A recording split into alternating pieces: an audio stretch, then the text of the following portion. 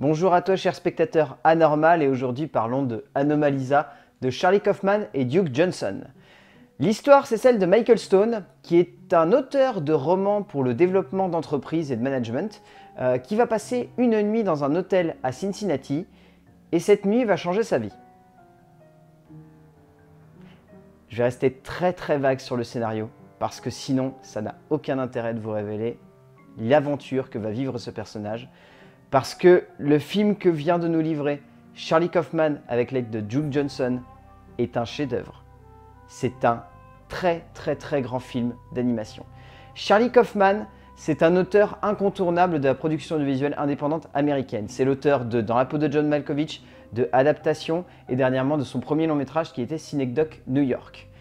C'est un auteur hallucinant qui regorge d'idées, qui arrive à créer des paraboles profondes sur notre société et sur nous-mêmes, et qui arrive à remettre en cause tous nos idéaux modernes.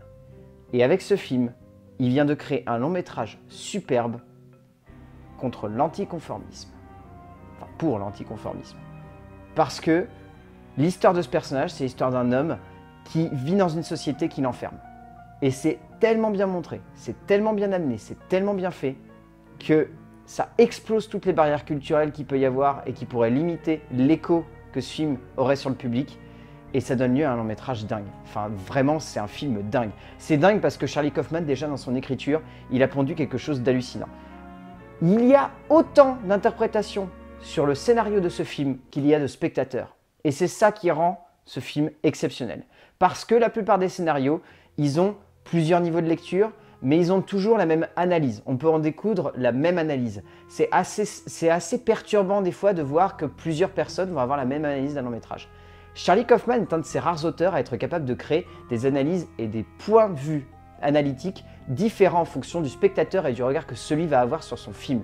Et ici, c'est exactement ça. On peut y voir plein de choses dans ce film. On peut y voir un homme qui va chercher l'amour parfait. On peut y voir un homme qui est coincé dans une société qui l'enferme et qui enferme sa vision du monde. On peut y voir un homme qui va simplement devoir remettre en cause sa vie personnelle pour pouvoir assumer sa vie sentimentale. On peut y voir tellement de choses sur l'écriture de son métrage. C'est fascinant et c'est émouvant à souhait. Ce qui est terriblement juste dans tous les films de Charlie Kaufman, c'est l'écriture des personnages. Et ici, elle est divine. Le personnage de Lisa et de Michael, c'est les deux plus beaux personnages que le cinéma ait vu à ce jour. Ils sont exceptionnels, ils sont émouvants, ils sont prenants, ils sont presque perturbants. C'est ça prend au trip ce film quoi. C'est dingue mais ça prend littéralement au trip. C'est beau, c'est foutrement beau ce long métrage. Il y a des émotions qui vont chercher tellement loin, qui vont chercher tellement de profondeur, tellement de réalisme aussi tellement de réalisme affectif. Ça touche le spectateur là où beaucoup de longs métrages ont beaucoup de mal.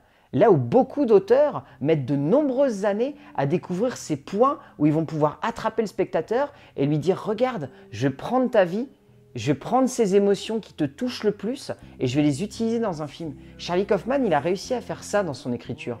Et ça se ressent dans le long métrage. Ça se ressent dans de nombreuses scènes qui vont chercher une profondeur émotionnelle, narrative, dramatique et tragique qui touche tout le monde. Et c'est dingue. C'est dingue. Et au-delà de ça, ce qui est dingue, c'est la mise en scène de Kaufman et Johnson. Alors pour le coup, c'est assez compliqué parce qu'il faut voir à la fois le graphisme, l'esthétisme, la technique employée au niveau de l'animation et la parabole aussi qui se dégage. Un point juste avant, pour ceux qui auraient un doute, Anomalisa n'est pas un film pour les enfants. C'est un film d'animation pour adultes. C'est un film avec des paraboles pour les adultes et si vous emmenez un enfant voir ce film, cet enfant va être complètement perdu. Donc ce n'est pas un film d'animation pour enfants, c'est un film d'animation pour adultes et c'est un très beau film d'animation pour adultes. Il y a de nombreuses scènes qui sont extrêmement bien faites. L'avantage avec l'animation, c'est que Kaufman peut laisser libre cours à son idée de continuité de mouvement. Et résultat, tout au long du film, on a de nombreux plans séquences d'animation. La séquence où Michael va rentrer dans l'hôtel est entièrement tournée en plan séquence jusqu'à ce qu'il arrive dans sa chambre. Et c'est hallucinant comment c'est bien fait. En plus, la technique d'animation est très très bien utilisée parce qu'il y a une, parabole que Kaufman nous sort de nulle part, où à un moment, le personnage va prendre conscience qu'il est un personnage animé et va commencer à se démonter.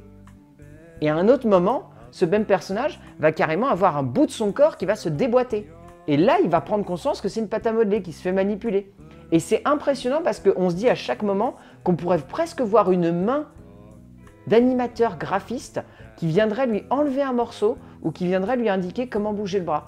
Et c'est montrer à quel point les films de Kaufman sont pervers et vicieux, mais ici c'est absolument dingue. Tout le long du film, on a cette sensation-là de manipulation, mais c'est terriblement bien fait.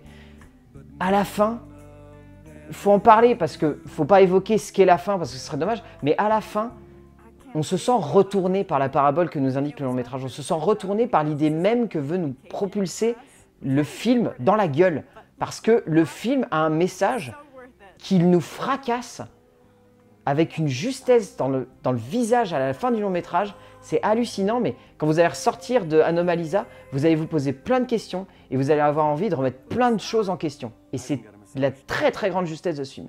C'est la très très grande justesse de ce film parce qu'en plus, il y a trois doubleurs qui sont magiques. Alors trois, parce que ce qui est intéressant, quand vous verrez le film, vous allez comprendre quelque chose.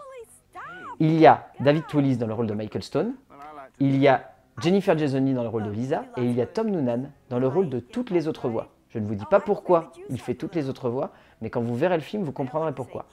Jennifer Jason Leigh a une voix magnifique. On en prend conscience dans ce long métrage alors qu'on l'avait déjà entendu dans Les Huit Salopards, mais ici elle a une voix sublime et elle porte très très bien le personnage de Lisa. Elle le porte à merveille, c'est exceptionnel. Et David Twillis dans le rôle de Michael Stone, il est tendre, émouvant, juste, sincère. Il dégage beaucoup, beaucoup, beaucoup d'émotions, presque trop, tellement on est halluciné par la performance vocale qu'il nous offre. Enfin voilà, Anomalisa, un chef-d'œuvre. Un chef-d'œuvre littéralement. C'est un film moderne, c'est un film dans l'air du temps, c'est un film sociétal, c'est un film humaniste, c'est un film poétique, c'est un film qui est beau, c'est un film qui est extrêmement impressionnant visuellement, c'est un film qui est magnifiquement écrit, c'est un film qui est magnifiquement doublé. Donc allez voir Anomalisa de Charlie Kaufman et Duke Johnson, c'est un très très grand long métrage. À mon avis, il ne gagnera pas l'Oscar du meilleur film d'animation parce qu'il est beaucoup trop euh, profond et réflexif, mais il le mériterait quand même. Donc allez-y sans crainte, si vous avez l'occasion d'aller voir Anomalisa, allez-y tout de suite, c'est un très très grand film. A plus